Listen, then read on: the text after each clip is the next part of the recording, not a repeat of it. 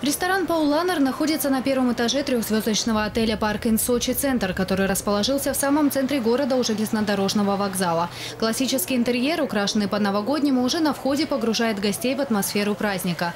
К услугам посетителей уютная обстановка гостиницы, детский уголок и шикарный баварский ресторан, который предлагает не только кухню Германии, но и множество других блюд, а также богатый ассортимент напитков. Игорь Васюков уже стал постоянным гостем ресторана. Узнав об уникальном новогоднем предложении, решил познакомиться познакомить с заведением и свою подругу. Новый год меня очень интересует, потому что предложение э, приемлемое, так скажем, новогодняя программа э, подобрана под, можно сказать, мой, мой вкус практически.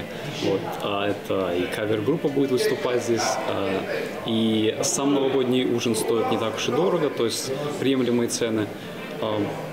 Поэтому я считаю, что лучше атмосфера, чем в ресторане «Паулайнер», я получить в городе не, не смогу. Отметить праздник в домашней атмосфере, отведать 17 блюд, почувствовать настоящий европейский сервис, сопровождение живой музыки, провести ночь в комфортном номере и получить бодрящий завтрак. Все это предлагают ресторан «Пауланер» и отель «Парк Ин Сочи Центр. Недорого, недешево, цена 5300. И каждый, кто забронирует и заплатит Новый год до 10 декабря, получает подарок bonus od našej gasnici 1000 rublej.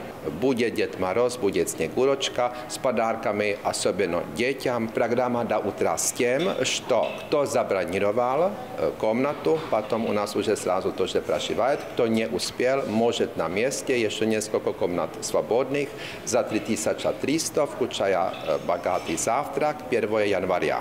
На завтрак 1 января для гостей отеля будет организован шведский стол с бокалом шампанского. Парк Ин Паулан Планер ждут сочинцев и гостей курорта не только в новогоднюю ночь. Уже сейчас все желающие могут зарядиться праздничным настроением, посетив отель и баварский ресторан. Татьяна Нагорская, Николай Тихонов, телекомпания «ФКТ».